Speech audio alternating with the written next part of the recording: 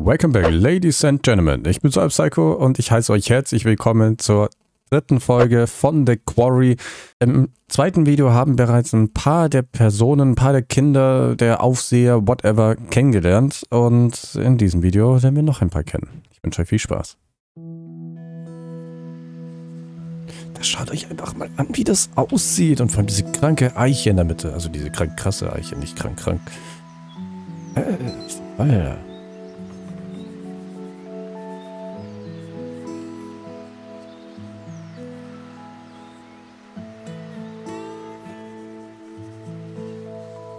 Zeichnet nicht schlecht.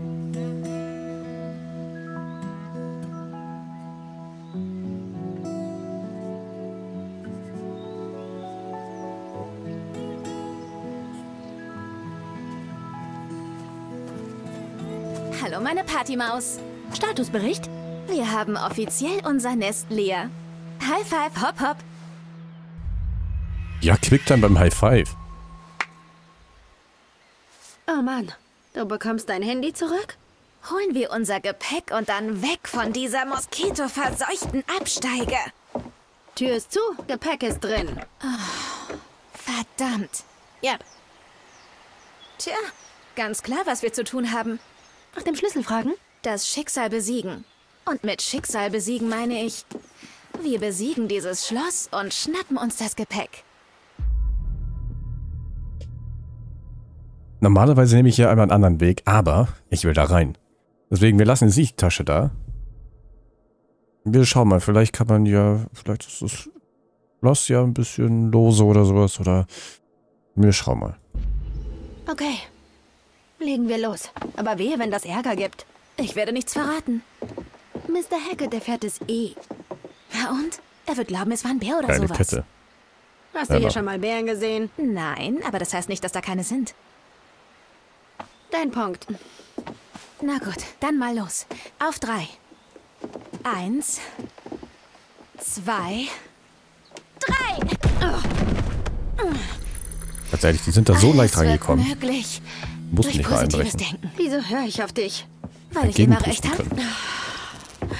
Und du bist sicher, die denken, das war ein Bär? Oh mein Gott, hör auf. Wir killen hier doch niemanden. Okay, gut. Ich schau mich nur noch mal um, falls wir was vergessen haben. Nur zu.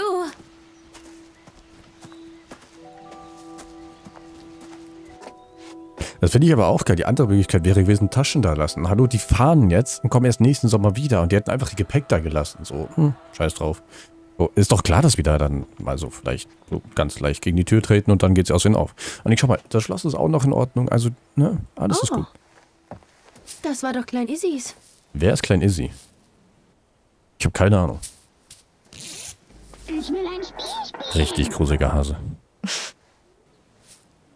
Richtig gruseliger Hase. Wie nehmen wir das? Du gehst zurück zu Easy. Wer ist denn Izzy? Izzy, Izzy, ich überlege gerade, aber keiner von denen heißt Izzy. Also wir nehmen ihn mit. Izzy wird wahrscheinlich irgendwann im Laufe der Zeit wieder zurückkommen, denken, shit, ich habe meinen Hasen vergessen, fährt dann dahin, Hase gone. Easy. Was haben wir hier?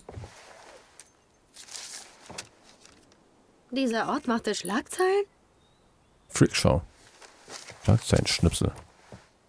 Okay. Ah, diese Steuerung, wenn immer die ganze Zeit, wenn die ganze Zeit die Kamera umschwenkt. Ah, schöne Holzbetten. Klingt bekloppt, aber ich werde die lausige Federung echt vermissen. Als ob du jetzt so viel Matratzensport hattest bei dem. Ich habe nichts gesagt.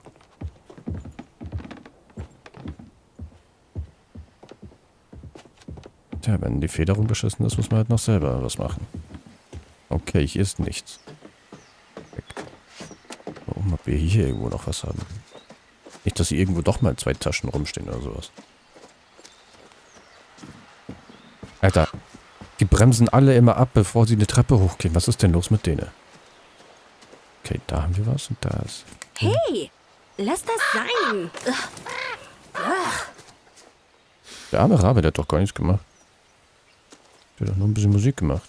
Was ist hier? Achso, das ist ein der Radio-Power. Aber sonst ist hier, glaube ich, nichts. Was ist das? Oh mein Gott. Das ist ein Stein. Wow. Das sah irgendwie aus der Ferne krasser aus. Wir haben ja hier noch was. Sie hat einen schönen Booty. Ich habe nichts gesagt.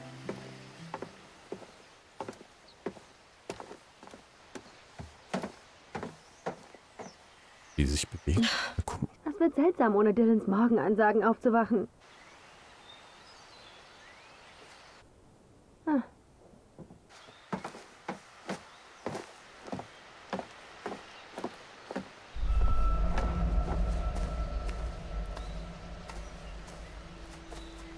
Hauptsache schaurige Musik oder Melodie und sie starrt auf das Fenster. Crazy. Und was macht hier so eine verlorene Bank? Das macht gar keinen Sinn. Aber gut. I don't know. Uh, dann schauen wir mal weiter. Hier ist alles clear. Vielleicht ist noch in den anderen Hütten was. Vielleicht können wir da auch noch Türen aus Versehen eintreten. Naja. Dylan wird sich nicht freuen, dass die Kids den hier liegen gelassen haben. Geile Musik. Aufnahme des Camps. Ich sage es Chris, wenn wir ihn sehen. Okay. Hätten ihn ja auch einfach mitnehmen können, um das denen zu geben. Die haben bestimmt so ein Fundbüro oder sowas. So eine Amtskiste oder so ein Schüssel. Aber nein, sie lässt einfach genau da stehen. Und dann fährt sie jetzt zur Lob zur Lobs zur Lobby, also zum, zum, zur Hütte. Nur um denen zu sagen, hey, da hinten an einer der Hütten liegt noch so ein Gerät, bitte schaut da mal vorbei. So, ja, nee, ist klar. Voll normal. Ich so gern schaukeln. Tatsächlich ist es auch immer so, wenn ich draußen bin und irgendwo so ein Spielplatz, wo keine Menschen sind, weil sonst ist es immer crazy, muss ich immer direkt schaukeln. Das macht einfach mega Bock. Ah, Jacob plus Emma. Autsch. Oh, Emma Sollte Jacob besser Shit. nicht sehen. Okay.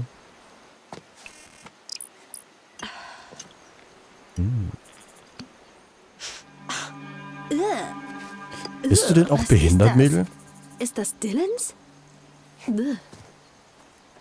Hauptsache, sie findet irgendwo so ein Flaschall. Ja, wo irgendwas drin war. Gut, man hat jetzt keine Flüssigkeit oder sowas gesehen, aber da riechst du doch nicht dran.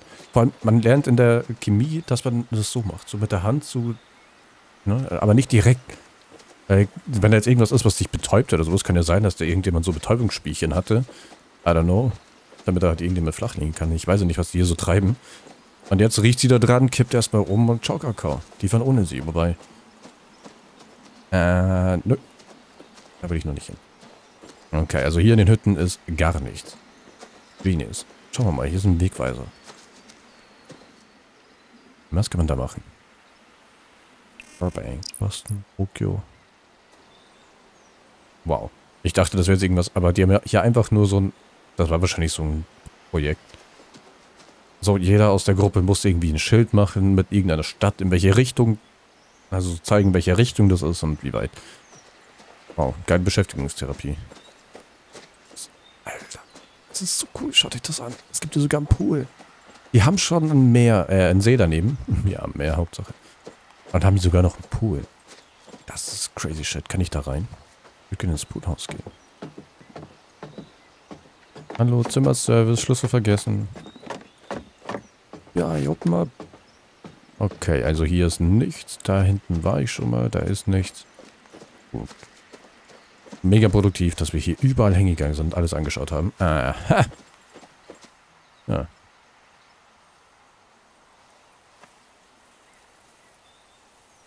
Ich glaube, Caitlin hatte den ersten Platz für den ganzen Sommer. Shooting Stars. Caitlin ganz oben. Cracker Shit. Aber die sieht auch Bombe aus, muss man sagen. Keine Ahnung, wer Jaden ist. Jasny Chap Chapey. Ja, High School Musical lässt grüßen. Diesel. Ryan.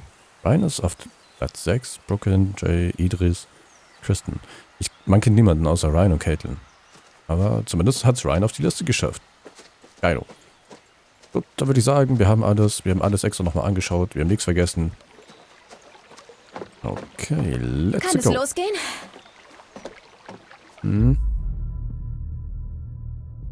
Los geht's. Ist so cool, dass die da so einen Golfkart haben.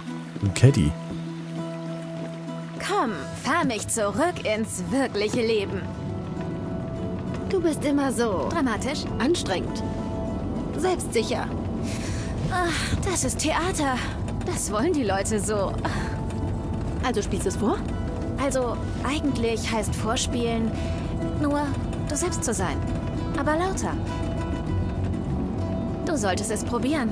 Wer weiß, wen du damit beeindruckst. Nein. Jetzt ist es eh zu spät. Für was? Dich und Nick? Du erfährst es nie ohne etwas Anregung. Ja, Quicktime. Wir fahren mit nicht mal 20 km/h. Wow, wow, wow, wow. So, die haut fast aus der Kurve. gelingt, Cowgirl. Verflinkst. Flinks. Okay, dann rein hypothetisch. Sagen wir, ich gebe ihm eine Anregung. Und dann ist er am Ende ein Idiot. Wie bei dir und Jacob. Eigentlich ist er ziemlich süß. Way. Wieso ist dann Schluss? Sommerflirt. Unsere Schulen sind vier Staaten weit weg. Er sieht's auch so. Ja, klar. Aber zu euch. Du und Nick habt vielleicht eine Chance. Hol dir seinen Kontakt. Ruf ihn an. Oh, ich habe seine E-Mail. Sie war in den Papieren vom ersten Tag. E-Mail? Bist du 93? Warum nicht E-Mail? Du wirst mir echt fehlen, Abby. Tatsächlich, E-Mail kommt irgendwann noch in Mode, wenn alle keinen Bock mehr Oh, haben halt, auf stopp. Discord oder WhatsApp oder whatever. Oh, aber zur Lodge geht's da lang. Fahr nach rechts. Wieso? Komm schon, Siegesrunde. Eine letzte Fahrt einmal rund ums Camp. Hallo, uns hat's gerade eben schon fast aus der Kurve gehauen, als wir wieder mit 20 km/h entlang getuckert sind und dem Stein ausweichen mussten. Wenn wir jetzt eine Siegesrunde fahren, landen wir am Ende noch im Graben und sind halb tot, weil uns irgendein Kieselstein hittet. Ja, komm. Eine Siegesrunde muss schon sein. Schön. Sieg über was denn? Zwei Monate ohne Technologie. Ich finde es ganz schön, offline zu sein. Uah, ich nicht. Und meine Fans vermissen Ganz mich. ehrlich, könntet ihr das? Zwei Monate ohne Technologie? Da muss ich immer dran denken. So, ich bin ja gefühlt von der früh bis Abend am Rechner und am Shisha rauchen. Aber jetzt zwei Monate ohne Rechner, ohne Handy, ohne. Gut, ist jetzt die Frage, ob Musik damit auch gemeint ist, ne? So iPod, iPhone, whatever, halt irgendwas zum Hören. Aber sonst könntet ihr zwei Monate ohne Technologie? Ich wüsste gar nicht, ob ich das noch könnte. Als ich klein war, ja. Da war das kein Thema. Da war Chillo. Jeden Tag, wenn die Sonne geschienen hat, ab nach draußen. Aber heute, man verlernt es so im Laufe der Zeit irgendwie. Das ist krass. Ähm, wir haben es ohne, was, wir haben es ohne dich geschafft. Wie haben sie es ohne, ist sie, ist sie sarkastisch? Lassen sie mal sarkastisch sein. Oh, wie haben sie es zwei Monate ohne dich geschafft? Du musst wissen, dass ich wirklich loyale und engagierte Fans habe. Ich biete sehr wichtige und lehrreiche Lifestyle-Ratschläge in Form von unterhaltsamen und witzigen Videomonologen. Sie vertrauen mir. Oh, total, ja. Du bist großartig. Äh, ja. Klang, klang, Ich meine, ich bin nicht sicher, sie werden richtig überschnappen.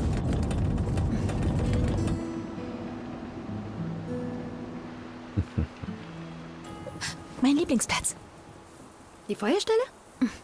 Die Insel. Wunderbar abgelegen. Ist. Ist das Rauch? Ja, doch. Sollten wir Alarm schlagen?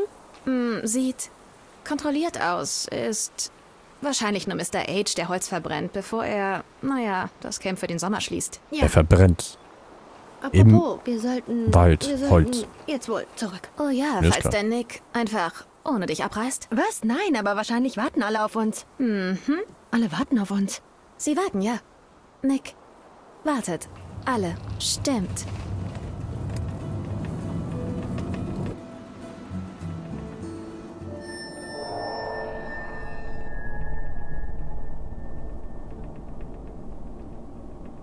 Das ist nicht gut. Das war's mit dem Video und wir haben jetzt noch so ein bisschen von dem Gelände gesehen. Wir haben noch zwei Personen, Abby und Emma, kennenlernen dürfen. Und vor allem haben wir ein Feuer auf der Insel gesehen, sowie einen interessanten Blick aus dem Fenster. Ob uns da vielleicht noch mehr erwarten wird? Ihr könnt gespannt sein. Aber jetzt wünsche ich euch erstmal noch einen schönen Abend, eine gute Nacht und wir sehen uns im nächsten Video von The Quarry. Ich hoffe, ihr freut euch schon. Ich freue mich mega. Und ja, haut rein bis dann. Ciao, ciao.